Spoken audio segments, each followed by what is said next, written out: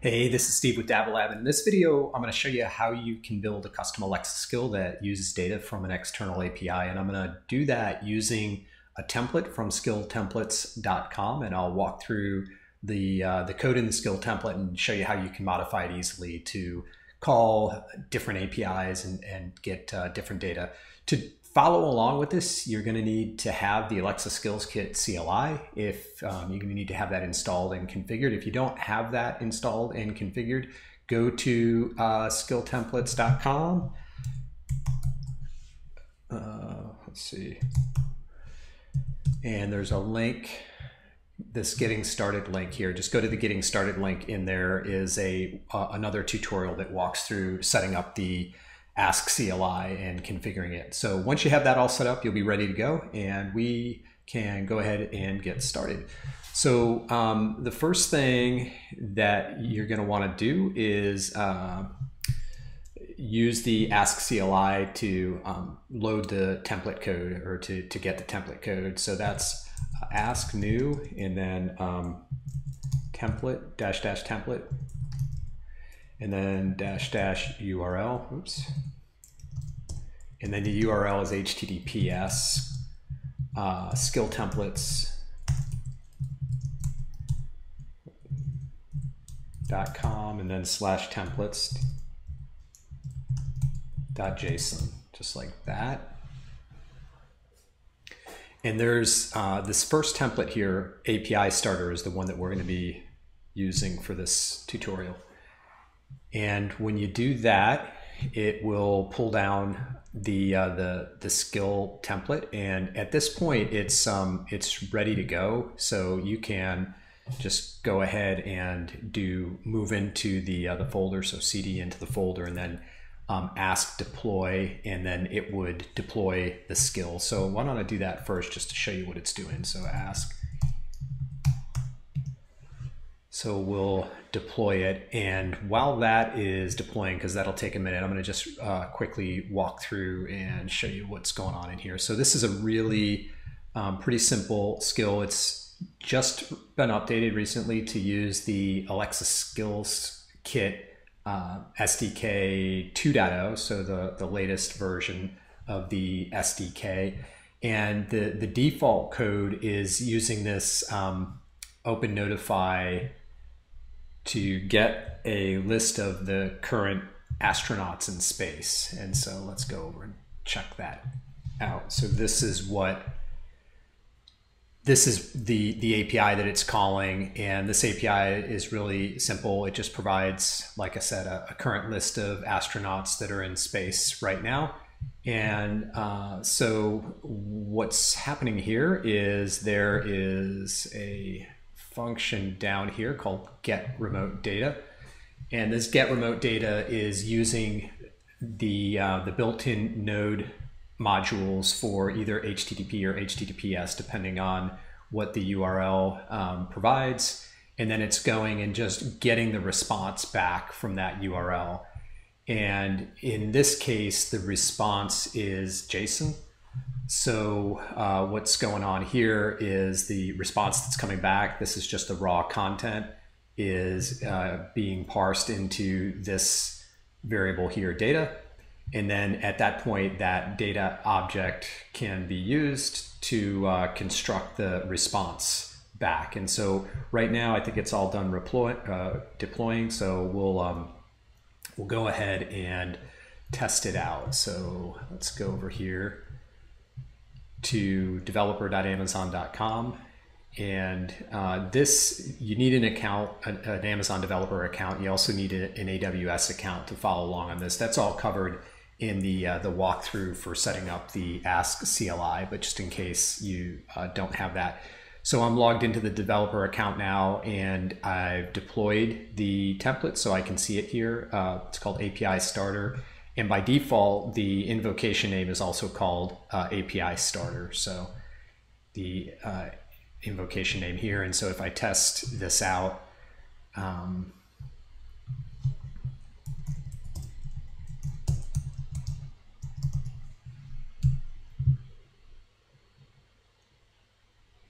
There are currently six astronauts in space. Their names are Oleg Artemiev, Andrew Feustel, Richard Arnold, Sergei Prokopyev, Alexander Gerst, and Serena Auñón-Chancellor. Okay, so um, so pretty straightforward, pretty simple. Let me um, let me show you how you could easily modify this if you wanted to use it to um, change it up and maybe uh, get data from another API. So I'm gonna uh, let's see, I'm gonna just change this. I'm gonna rename it the, the folder. You don't have to rename the folder, but I, I'm gonna do that just because it keep keeps things organized. And I'm gonna create one called random Whoops. Random quote. And there's a couple of things that you're going to need to change. Um, first, you'll need to change the name of the Lambda function, which you can get to in this .ask folder, the config file, and then the URI here. So leave ask custom and just change like API starter to random quote.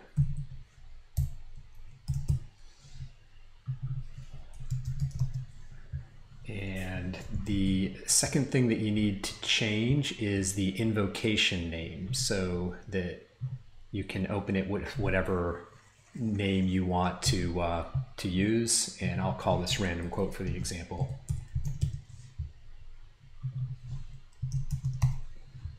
Like that. Um, and then you could change the samples in here also, although it's right now it's set up to, um,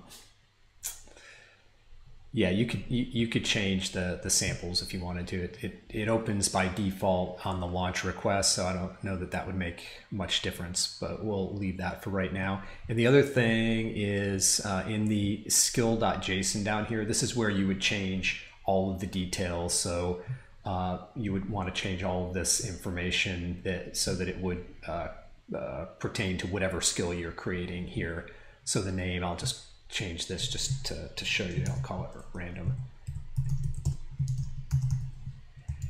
And because I already deployed this, I'm going to just get rid of the skill ID here so that it creates a new skill rather than overwriting the one that I just deployed. So now I've changed everything and if I redeploy, it should now create a new skill um, and the new skill should be called random quote. And it looks like it's done creating the skill so we can go back out here and check. Yeah, so there you can see is my new skill random quote. And if I go in here, I should see my Looks like this is still building, but uh, you can see the invocation name there is going to be random quote. So this is done building. It's probably close to or almost done deploying the Lambda function, which it's doing right now. Let's go out to AWS and take a look here. So this is um, in my AWS console here, and this is my uh, my list of Lambda functions, and you can see the um, the, the first function, when I deployed it the first time, is this one here, API starter, which is default. And then it created a new function when I changed the, um, the Lambda name in the config file here. And so now, if, uh, if all is working, I can go over here and test this out and say, um, open random quote I haven't changed the code, so I'm still going to get a list of astronauts. There are currently six astronauts in space. Their names are Oleg Artemiev, Andrew Feustel, Richard Arnold, Sergei Prokopyev, Alexander Gerst, and Serena Auñón-Chancellor. Okay, so um, so I've got the the same skill, but just with a different name now. Uh, what I'm going to do for the example is just go use a different API and in this case, I'm going to use this Talaikis, I, I guess. I don't know how to pronounce that. But um, the uh, this uh, UR, this API here provides just a random quote.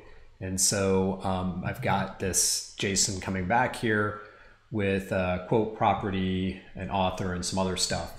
And so if I wanted to change this, I would just copy the URL, go to my um, go to my code here, and uh, let's see, go into Lambda, and I'm gonna get rid of this here, or I'm gonna change this. This is calling the uh, the API, and then this stuff down here I don't need anymore. Um, but I do need to change the output here. So um, I'm going to do something like, I'll just paste this in here.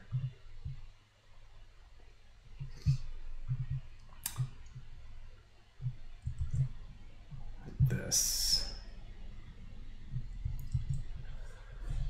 So I'm just changing the output speech, um, the uh, this variable value here. So uh, the, it's going to respond back with your random quote is, and then uh, data dot quote, which is this value, and then data dot uh, author is that over here. So with that, I can just redeploy. This time I'm going to use dash T to just deploy the Lambda because that's all that's changing and that'll make it go a little bit quicker.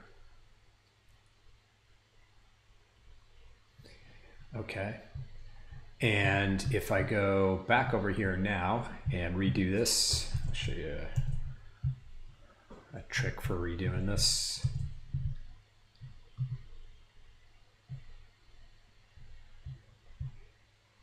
So there you can see your random quote is, I wanted to be a doctor. So Your random quote is, I wanted to be a doctor that I might be able to work without having to talk because for years I had been giving myself out in words. This is a quote from Albert Schweitzer. And so um, now, if we resubmit it, we'll get a new quote. And uh, so that um, that is it. I'll do one more just to walk through the steps again. Um, but it's pretty uh, pretty pretty simple. So the the last one I'll do, close this stuff down, is um, the last one I'll do is let's see, we'll do one that is gonna be. I'll copy this time. Just paste here. And this one I'll call crypto prices, and we'll get like cryptocurrency prices. So we'll create a, a, whole new skill called crypto prices.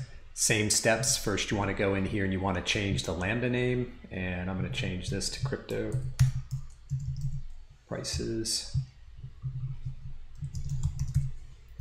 And save that. And then I want to change the invocation name. So I'm going to go in the model here and change this to crypto prices.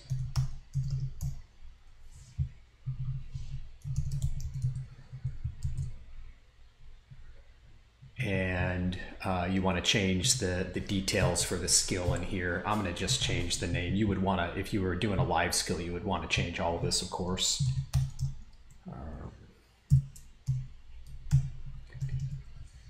Crypto prices. And for this one, I'm going to use uh, an API that provides a list of crypto prices. So this is a, this one's going to work a little bit different here. So this is um, an API endpoint uh, from CoinMarketCap.com, and it provides a, a list of current prices for lots of different cryptocurrencies. And I'm just interested in Bitcoin for this example, but we could go through all of these. So um, what I'm going to do here is uh, take that URL first of all, copy that, and then go change up my Lambda here. So in here, I'm gonna replace this URL with the URL that I'm calling, and then this down here, I'm gonna use, I'm gonna just change this up, and you would just, I'm just pasting it in because to save time, but you would just change the output uh, speech here, and the output speech that I'm going to use or value is the current price of data, the first item in that array, and I'm going to get the name of that, which would be so like the first item would be this item here, and the name is going to be Bitcoin. And then the uh, the other thing that I want is the, the price underscore USD. So I'm using that in here too. So I'm going to um, speak back or Alexa is the current price of whatever the name is for the top cryptocurrency is, and then the current price, which is Bitcoin right now. So um, let's see. The other thing that I need to do is so I don't overwrite. I forgot to do this earlier. I should have done this when I changed the name, but I don't want to overwrite that existing skill. So I want to get rid of the skill ID here. And um, now I can uh, just deploy that like that.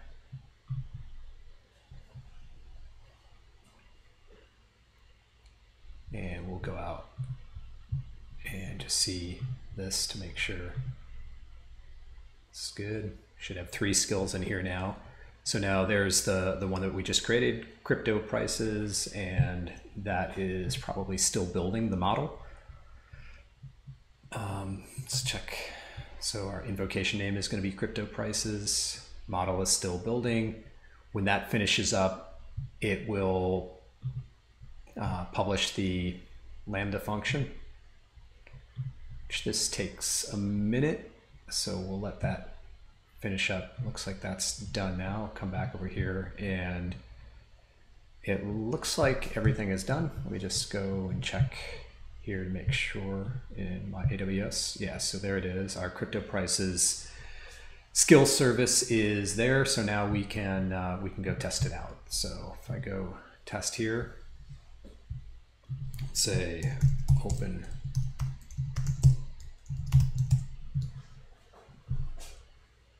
The current price of Bitcoin is 6,727.13.